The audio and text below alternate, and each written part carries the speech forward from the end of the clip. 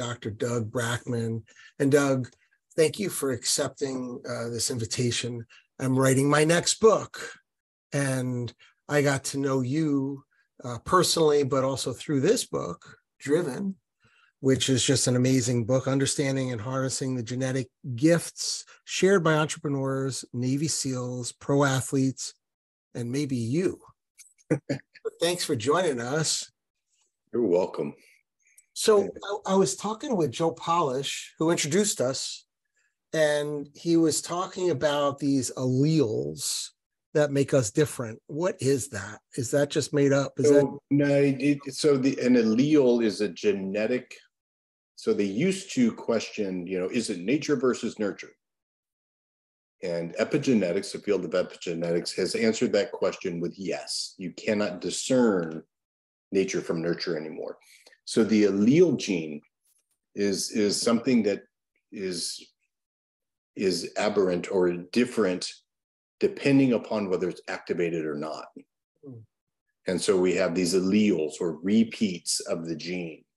And so one of the genes that I looked at in driven, you know, dopamine receptor DR dash D2. So it's a second dopamine receptor. There's five, six, seven, two, and then it's a dash A1 allele, hmm. which means on the A1 chain, you see a difference compared to normals. And so if you have this allele or different gene, meaning that it's expressing itself, it comes out as boredom. Hmm. And so it is something that, you know, everybody has the DRD2 gene, but the dash A1 allele, meaning that it's different in you. I see. So yeah, it's it, it's now, you know, since writing driven, it's been six years, five and a half years. The just the leaps and bounds in genetic research alone Hmm. As you know, bastardized us, I've just simplified the crap out of it, really, because I'm a clinician.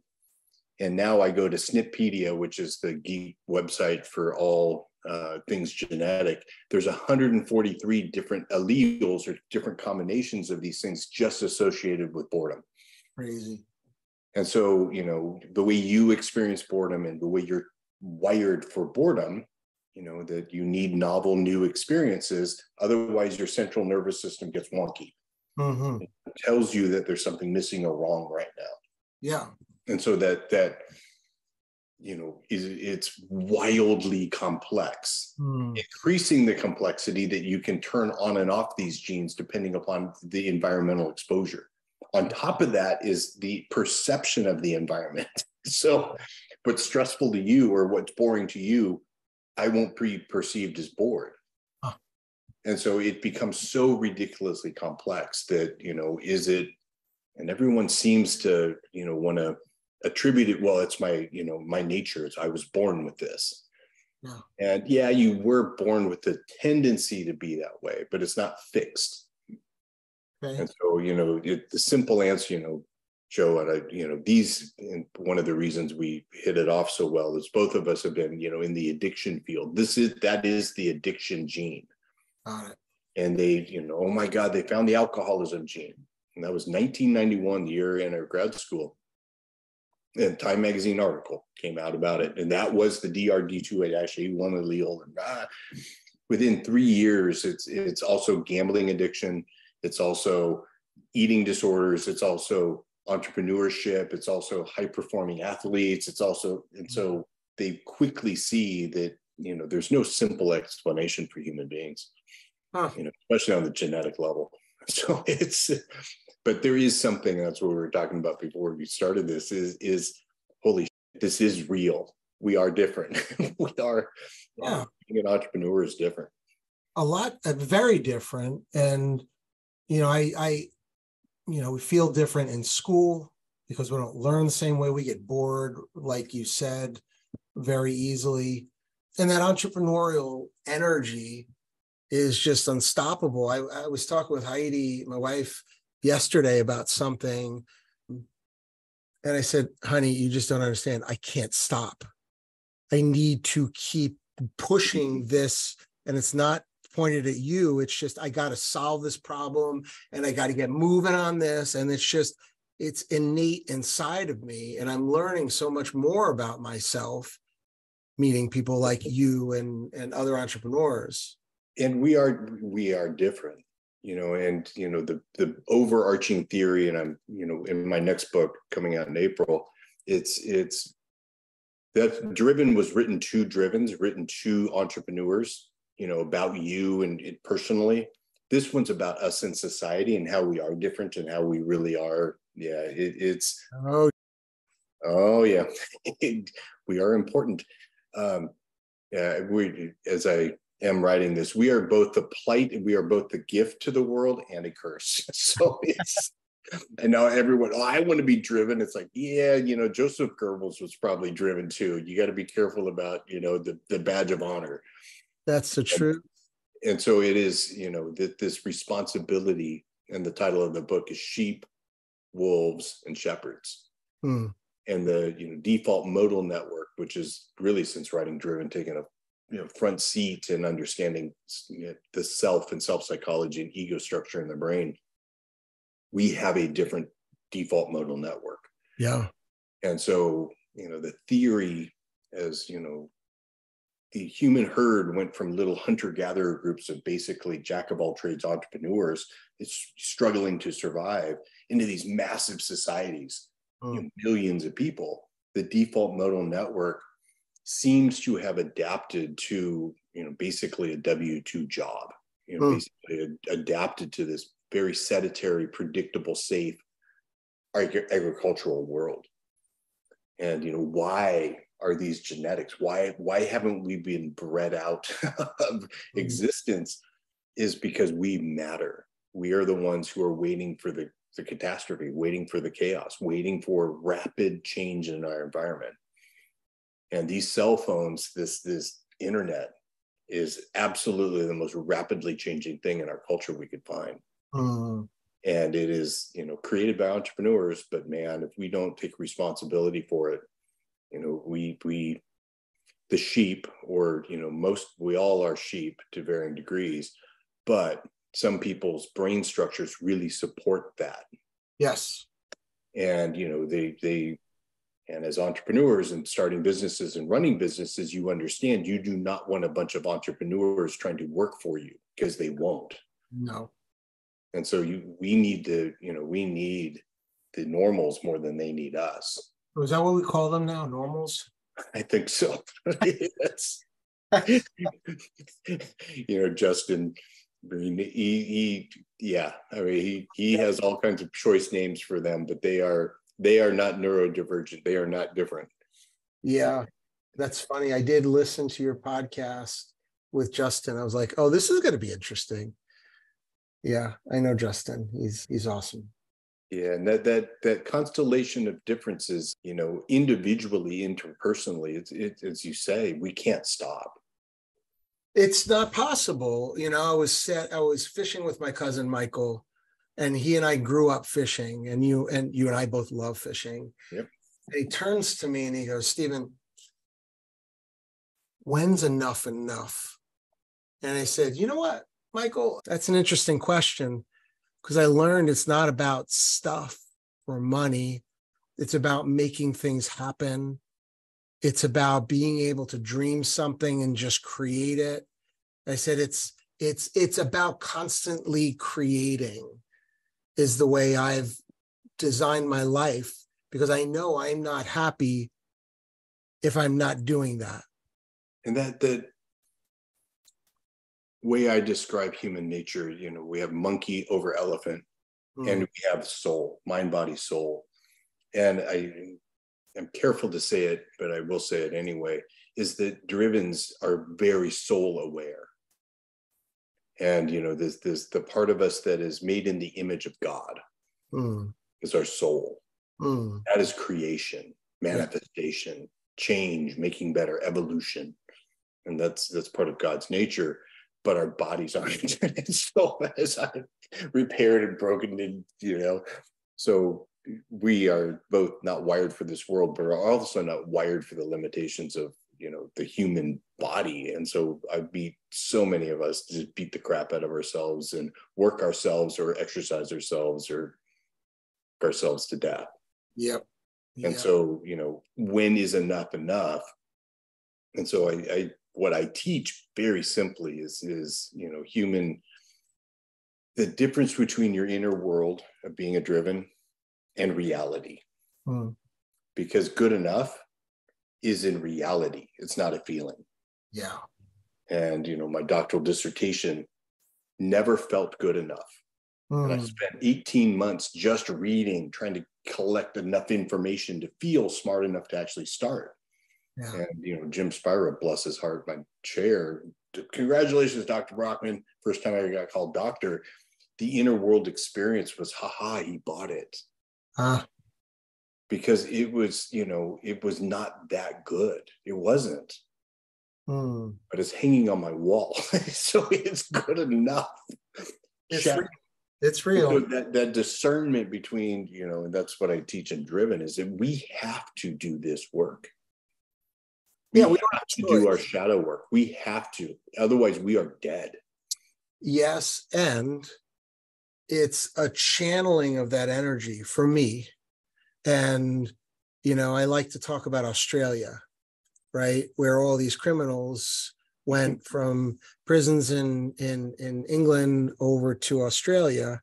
And now australia's either entrepreneurs or criminals right? Go figure. Or both or both yeah they, that's true but i believe it's just a channeling of that energy because we can do it for good or we could do it for bad. And that that is yeah, man, you lay up for my book because it's you know people that proclaim to be shepherds of the sheep. If anyone's proclaiming to be a shepherd, they're a wolf. they're not because it, it is. I am science, you know, Fauci, the great driven, and it is they're power hungry, power addicted. Hmm. You know, to, to control the sheep is what gets their dopamine kicking. Yeah. And we see that over, you know, Genghis Khan to Goebbels to Hitler to whoever, Stalin, you know, they're driven. They get it. They get how to manipulate, they get how to play the game. Mm. It's like us. Yeah. But what they're addicted to is, you know, evil, basically. And, you know, a driven that is actually owning their wolf, that's intent, like, I might be a wolf here, and working on their wolf has the potential to become more shepherd like. I love that so much because I have a chapter of my new book, which is what we're talking about, believe it or not. It's called E Squared, The Power of Entrepreneurs, Investing in Entrepreneurs. And it's a yep. bunch of fables, right, that kind of bring home stories. And there's one chapter that's called Manipulation. Um, let me find the chapter quick because I just I just had on the top of my tongue manipulation and oh gosh, I'm gonna have to chop this section out. Let's go to here. This is gonna have to be edited for sure. But here we go. Manipulation, motivation, or inspiration. Yeah. And I call that the hierarchy of leadership, like Maslow's hierarchy of needs this is leadership because early in my days, I am ashamed at the way I manipulated people to get what I wanted. Yep. Right. It could be, it's because I pay you now do the friggin' job, right? Which is not so awesome. And it, it is, you know, my overeducation, that's management. That is literally you're you're managing people's external circumstance, either through reward or punishment, whatever you want to call it, to control behavior. Yeah. Yeah. And people hate to be managed. That's right. So I, I, my next one is motivation. And that's where I put my will on you. And then you do what's good for me, Mr. Entrepreneur, owner, or whatever. And it doesn't feel so great, but at least I'm not bullying around with the manipulation. so th- this is one of the metaphors I'm using in my book is and by chance, synchronicity, you can you can lead and direct sheep two different ways. The driver is at the back of the herd with a big stick, banging it and scaring the out of the sheep. Mm. And it's literally driving the sheep to slaughter. Yep. Where the shepherd is in front of the flock. Hmm. They have the same big stick, but it's got a gentle hook on the end of it. Hmm. And you're gently guiding the sheep or inspiring the sheep, as I'm sure where you're going. Because and they want to follow you. That's the difference. Yeah, and and the leading by inspiration. Say more. Is where people are intrinsically, internally inspired to follow what it is that your direction your company your organization represents. And it's a and it's an extension of their uh, emotions their will their values. Their inner world. Yeah exactly. And so my that was part of my doctoral dissertation outcomes variables was organ something i called organizational identity how much you actually are part of the organization within yourself. Yes. And it's very difficult to create. Hmm. the only way to do it is to get to know your employees. So and that is you know leadership the way i teach it it's simple is a leader learns to stand in someone else's shoes. Yeah. And then lead them literally yeah. from their point of reference and I- that's the magic. I mean once you can really get you know what inspires you because what inspires me may not inspire them. And that's the magic there which is not for me was not figuring out what inspires them but hiring to it. There you go. People who are truly interested in what you're doing. So with our farm that we have you know we're growing trees that draw down 11 times the carbon of any tree and they grow in a long in a short period of time like there's a whole spirit there and inspiration. If you buy in, you're in. And if you don't, you think it's a bunch of hooey, that's fine too. But I only want people who believe in the in the dream. And and so yeah, for sure, that manipulation part, that wolf, and I never thought of it as a wolf, but keeping myself at bay when I want to attack because I know it's not good for the herd.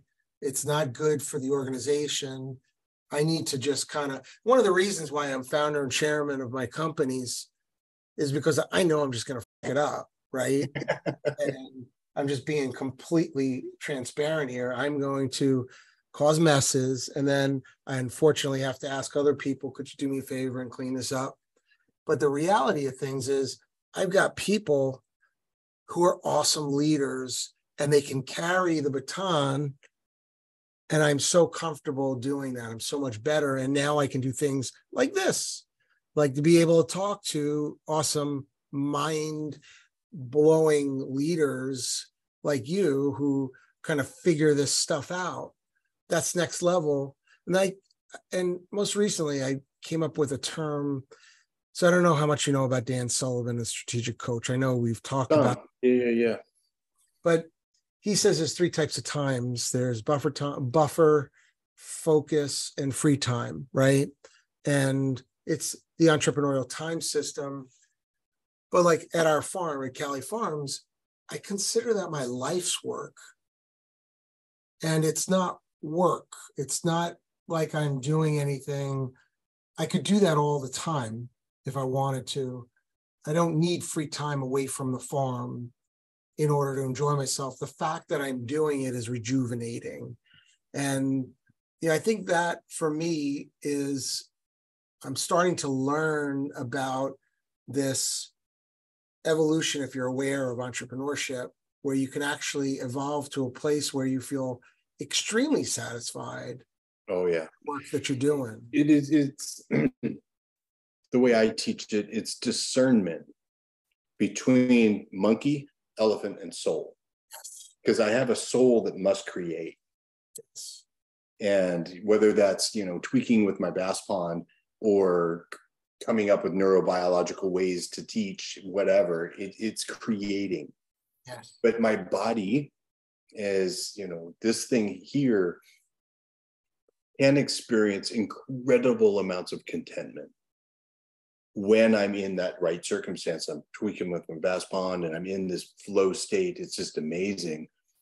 But if I sit still, my dopamine receptor sites are and I get, you know, because entrepreneurs hate wasting time.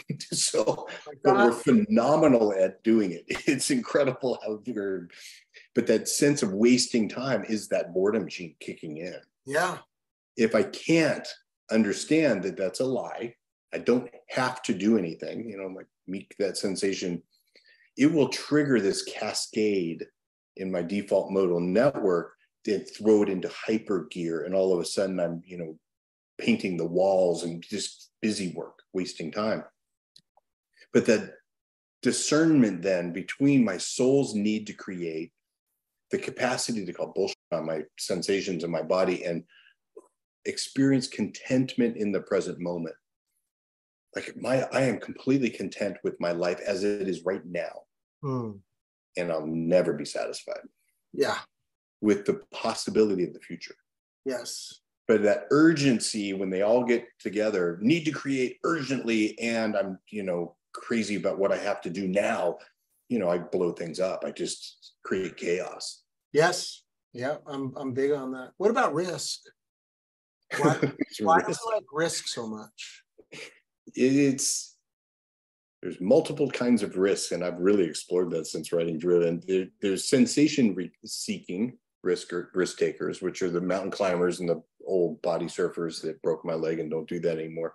Because mm-hmm. uh, it, it's that amazing sensation that creates that flow state for me. That's a different kind of risk than people that are calculated risk. And I also have that. I'm not too big on the D2 risk, but the the horizoning risk takers. That's what I'll mm. call them. Shiny on the horizon. Oh, it's going to be so great. So amazing. So amazing. And I, I no matter nothing's going to stop me from making that happen. Yeah. And that that kind of calculated risk, you know, where it, it's I don't feel like I'm really taking big risks because I thought about it. but, but the people on the outside of us, you know, or you know, the board that's overlooking our shoulder going, what the hell are you doing? Yeah. We can't afford not to do it.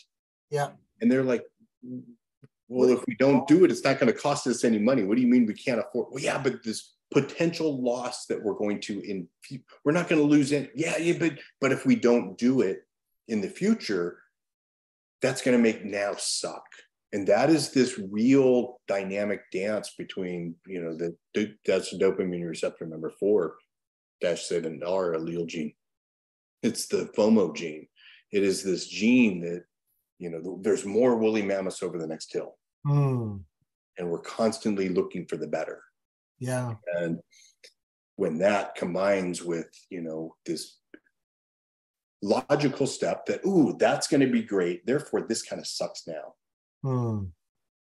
And that confusion between, you know, referencing right now in some future great state that's complete bullshit. It's a lie.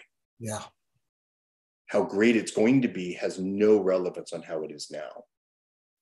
And so that how is it now? Hmm. And that's what I teach everybody. We got to get an accurate assessment of really what is your life now? And will that really make it better? Yeah. What does better even mean? Yeah. And for every driven I've ever worked with, it's freedom. we want to be free to do what we want, with no one telling us what to do and you know the, the it's faded away some. When I finally get $10 million in the bank and I get $400,000 a year interest, no one can tell me I could, you know, few money. Yeah. And it, it is the biggest lie I've ever witnessed people because our soul can't stop creating. Our soul not going to let us stop. That's right. When am I ever, ever going to be satisfied? When it's yeah. over. When it's over, maybe. Maybe. So, so in my book, it's called E Squared, Power of Entrepreneurs, Investing in Entrepreneurs.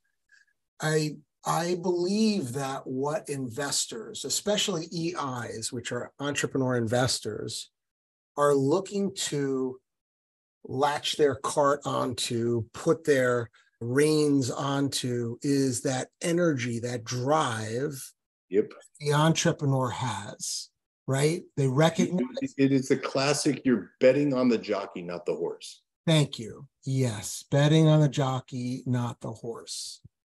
And and the reality is there's really something there because this person as long as they're properly pointed they're being honest not being con artists right they're being honest about their intention humility is the number one thing before I throw money at anybody. And I, I, I do throw money at some of the people I work with because it is, you know, in lieu of pay because it's like, dude, give me some points on this shit because, but then I get to oversee and watch. Yeah.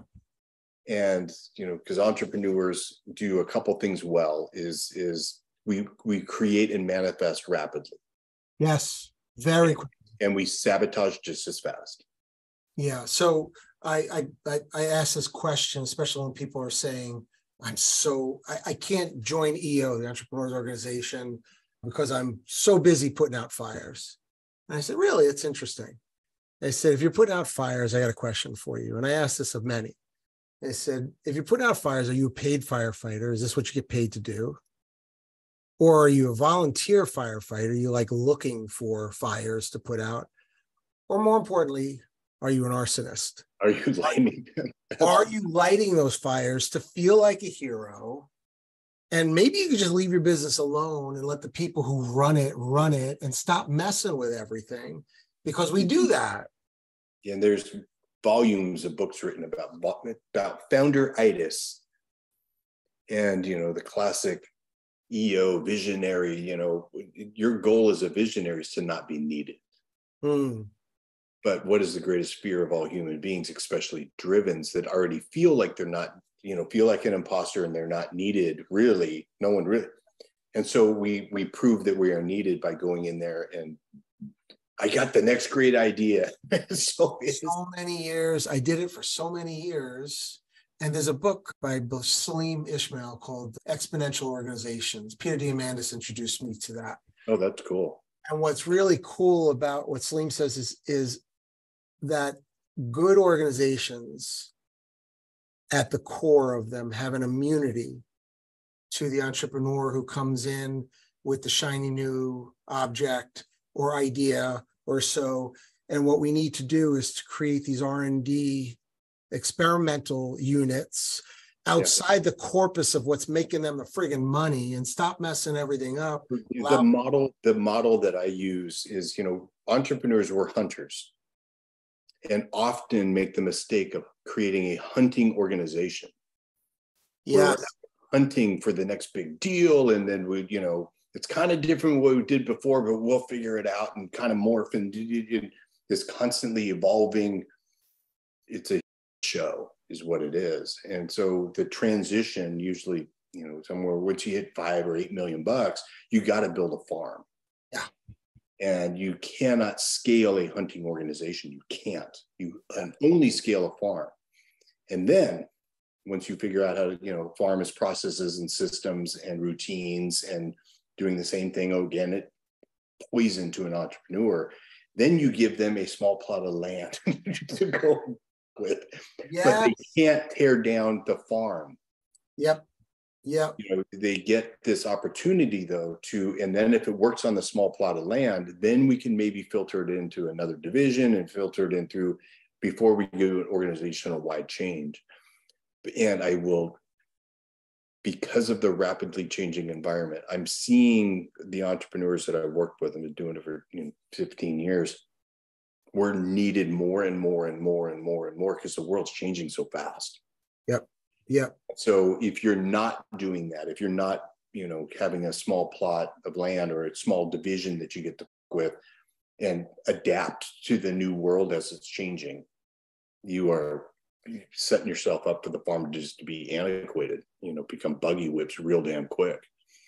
And so the, the need for the entrepreneur and founders to stay in is what I am seeing more and more and more. You know, they fired Steve Jobs and then brought him back. exactly, because that's where the innovation happens. So I've, I've I've identified and learned about these sprints, and they typically last a quarter for me, right? And I learned about agile training, if you've ever heard of that, or Scrum. Oh um, yeah, yeah and it's amazing that there is actually training on this because now I'm training my people on different projects. And president of our company is like, could you do me a favor? and just clean up operations. The culture's wrong. This is, you know, people, he identified a couple problems. And inside of, I don't know, 10 weeks, we've completely turned it around. I've got now 10 times the capacity and I did this and that. Yep. And that's how I operate really well in my organizations. It's, I can, I, I was talking, I was down at the farm, I was talking to the amigos, the guys who are here legally on an H2A visa, if anybody's listening but I was getting involved with them about some pettiness that was going on between them. And A, there was a language barrier, and B, my body language doesn't read so well to somebody that doesn't understand what the heck I'm saying, even though I'm using translator and so on. And I turned to my farm manager on Monday because this was a weekend. I'm like, I've got many people in my organization to buffer me. I don't have that buffer here, and I'm going to mess everything. I think I messed everything up this weekend. I think it was like, well, what? It's, it is. We don't mean to scare the sheep. We don't mean to, yeah. but we naturally do. Yeah. And so it, you know, the the difficulty in that is that it hurts us Yes. You know, as entrepreneurs at HSPs, we are highly sensitive people, so easily misunderstood for how big of a heart we have, really have. Heck yeah.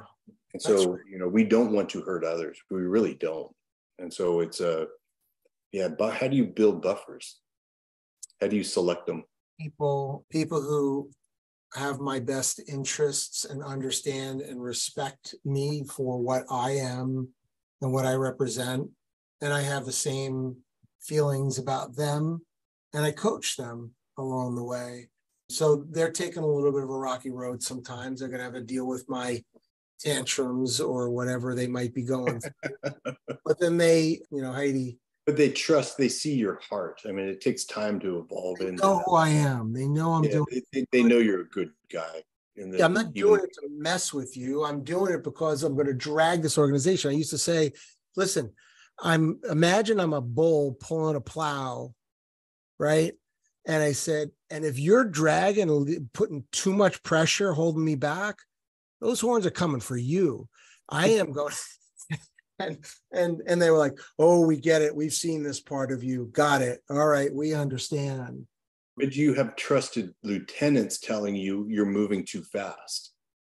Yeah, you pissed off this person, or you did this, or you did that or again, Heidi, bless her soul, will say, okay, I'm gonna, I'm, I'm going to translate what Steve's trying to say right now. Oh, okay, now we get it. I'm like, there's a group at DC that I work with that he's got this, and he he's literally Michael Scott. I mean, just foot in his mouth. It's like, oh, don't say that uh, because it is.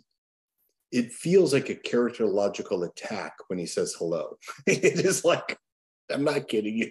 We've tried everything but he literally has a right hand he has a translator that's it and and that's what we need that's what we need so let's go back because i know you got to wrap up shortly and we're talking about this energy focus and the entrepreneurial drive talking about criminals probably having the same dna as entrepreneurs is that correct Yes, pretty much. Yeah, we're also, you know, the drug addicts. We're also the the sociopaths. We're also the Faucis. I mean, we are we what separates us in the criminal natures that we can have is that we see through social norms and we see through social structures. Yeah. As they're not real, they're just constructs. Yeah where the sheep actually find safety and security in not questioning them or even knowing that they're not real. Like you say, you know, a law is not a real thing. Right. They go, well, yes, it is. Mm-hmm. And they don't they don't take that next step of, you know, that fluidity. So, you know, moral relativity is what we can we can muster. You know, I can rationalize pretty much anything. And you know, the greater, oh, I'm really not hurting anybody. Mm it, it, it is that moral oversight you know the spirit of the law not the letter of the law and so we we you know have that propensity because we we aren't wired to work in assembly lines we're just not that way Understood. Where assembly lines, most people love it. Really? Yeah, well, depending on the rigidity of it. Mm. But they find comfort in the predictability. They're not risk takers. Yeah. Security in that. And you don't want risk a bunch of risk takers working for you. You don't want that. Nope. Nope. I've done that, been there, done that, and that was just not good. It was what we call a show. Yeah, because you get uh, do that in six drivens together trying to create a company. It's like, well, who's going to do the work? and so, you know, everybody's got great ideas, and but you need the you need the bridges to actually get things done, and that's the sheep. That's the the normals. I believe our I believe that we evolve as once we get some cash, let's say, and we turn into that what I call EI. My formula is E times EI equals E squared. Ah. So entrepreneur with the entrepreneur investor, somebody who's seasoned, has some money, has connections, has wisdom, and is willing to sit on an advisory board, make introductions to networks, and so yeah. on, is so valuable to an organization but as the EI, we're looking, we're monitoring for somebody whose true intention, what's at the heart of this entrepreneur. Are they just, are they truly an entrepreneur driven? Or are they just making it up so they can have OPM, other people's money? Yeah, and that that I I come across more often than not. Now that money is different in 23 than it was in 20, 20, 21. Money, it, it's meaning there's no free money anymore. Yeah. Yeah. And you you can't bullshit a bullshitter. Yeah. And so that you know what I look for before I throw money at anybody as I get to know them. Mm. You know, I don't buy the story. Yeah. I don't buy the narcissistic fantasy that we can paint. Yeah. Always keeping in mind that D4. Oh my God, it's going to be so great. Mm. Yeah, but what is it now? well, it's an idea, and I gotta, I gotta you know piece of paper and some drawings on it. It's like so you basically have nothing now. Yeah. But don't you see the real potential? And it's like yeah but what do you have now? Yeah. And so the the you know the delta between the fantasy and the reality is the, the number one thing i call bullshit on. And it's like well i've got you know four people sitting on my board and i got half the program written and we're in beta testing here and this is it. And you know and then i ask simply when does it become real yeah. Well, we're probably 18 months away from, you know, MVP and okay, you know where you're at. Yeah. Yeah. And you're not sucked into that narcissistic fantasy about how great it's going to be. But as you said, without that inspiration, without that, but I know this is going to work deeper. That's the jockey that I'm looking for. Yeah they they in their gut of guts they know they they know it's going to work and you know that dog ain't going to give up that bone no matter what and yeah. and then they're willing the humility they're willing to ask for help you know jean greaves dr greaves was one of my last professors and she right before i got my phd and she she said expertise is true expertise is understanding how much you don't know about one particular subject mm. Mm it's like I don't know. I know some about neurobiology more than most, but there's so much I don't know. Like oh, and it inspires me. Yeah, that's an expert, and it's a yeah. mastery in that. And she said the most important thing about that is not that you become an expert, is because you learn to spot it in others. And I said that that is getting repeated. Brilliant. You know, again, I was talking to Joe Polish and he says, "You know, you know the story about the rock soup."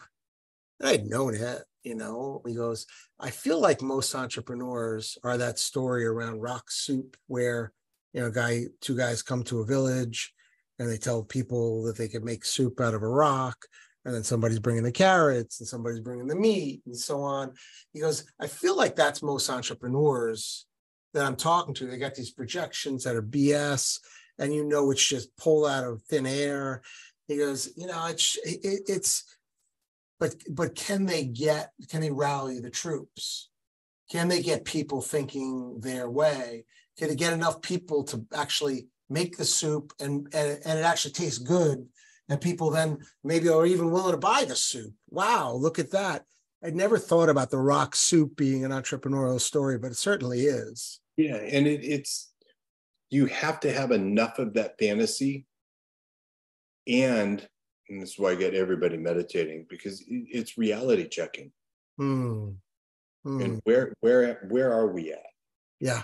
What's our burn rate? What's our income? What's our you know what what is the reality of this you know thing that we're about to launch here?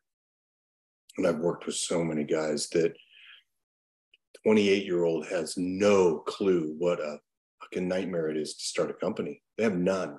Thank God, or they wouldn't do it because it's, you know, but they get into it and then you get so far into it, you can't stop. Yeah. And, you know, the perseverance and the, that, that jockey of not giving up, they gain humility and they, you know, hopefully struggle on their first one, don't have a home run on their first one. That's a kiss of death. Somebody, so people who have done it have a list of successful ventures is always a good bet. Uh, yep. my opinion, because they're often not doing it for the money. They're doing it because they just can't stop their drive. Um, and, and, and that's a big part of it. Listen, I know that the drive is something that's going to be palpable and you're going to come up with a drive meter one of these days so i can just kind of go and there it is like oh this guy's a 10 this guy's a 3 this gal it is this this thing that this would be an important part of it to to there are people that are inspiring and that are soul inspired they're manifestors they really are they see something in the world that must be created. Yes. And then you have others that have to create because they're running from fear to prove themselves to to it's a narcissistic kind of investment in you know my phds were done because i was hoping that it would get rid of this inner shame mm. and i was driven mm. but it was a different kind of it was an inspiring kind of soul purpose yeah at first Brilliant. Brilliant. At first. It's yeah. the only thing, the only reason that to make me cry. The only reason I didn't stop was because I couldn't, because of my soul. Yeah. That is that you see someone who's learned that, bet on them. That's it. You feel it. You feel they're like, no, this guy is like, this ain't this ain't about some he needs to prove himself. Yeah. And it, it's it is a deeper kind of a it's I don't know how else to say it other than your intuition will tell you. Yeah. And then a few couple of questions to make sure they're not full of and you know what's reality and and that and you'll see them, you know, and I get this all of my real entrepreneurs, I call them the you know the the guy who's doing the sports leagues or whatever, you know, the, why are you doing this? Oh, I just want to help the world, and it, it's like bullshit the reason he's doing it is because when he was 11 and his parents got divorced, he walked onto a sports field. And it, it's his heart. Yeah. And that is what I, you know, Yanker, you know, when types, you know, and we went through COVID. he just old he went from five million a month to zero in literally three weeks. Damn. Yeah. They survived. Yeah and they survived because he wasn't gonna it, it shook his soul in that um, real deep way. that is what you want to be betting on right there. Yeah. that's the investment right there. Being able to identify palpate that the soul of an entrepreneur of why they're actually doing it. Is it to run from shame and fear and am I good enough? and blah blah blah all of those good things. And I don't mean to minimize it by saying blah blah blah but the list of things that cause that is it ego or is it, it soul? It, it, and it's usually all of those things and you got to fish a little bit to find the soul. Yeah. Yeah. And if you fish really quickly with somebody you can miss it yes. you spend a little time with them and you actually you know see him struggle and you you'll see this and feel this deeper need that they have to to heal their own trauma it's really what it comes down to it's beautiful i mean it's amazing i've kept you a real long time and i appreciate the heck out of you spending some time with me and i'm very excited to include you in my next book. Appreciate that. I I am building the world's largest community of private investors, entrepreneurial investors, to be able to help meaningful, impactful entrepreneurs scale and grow.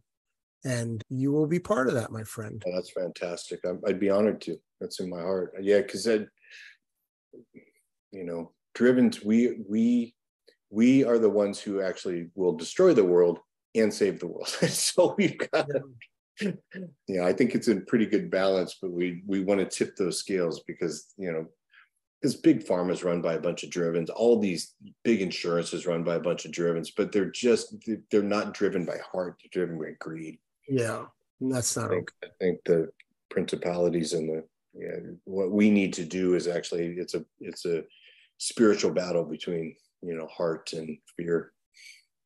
Absolutely. Well, Dr. Doug Brackmann, thank you so much. Okay. Author of Driven. And what's the new book that's coming out? When is that it coming? Is April 24th of 24 is Sheep, Wolves, and Shepherds. Yee.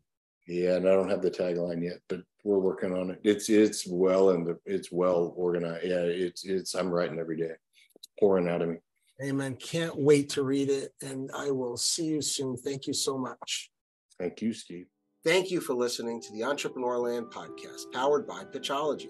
For more information, additional episodes, and content, visit pitchology.ai, where you can also pick up a copy of my newest book, Once Upon a Time in Entrepreneurland.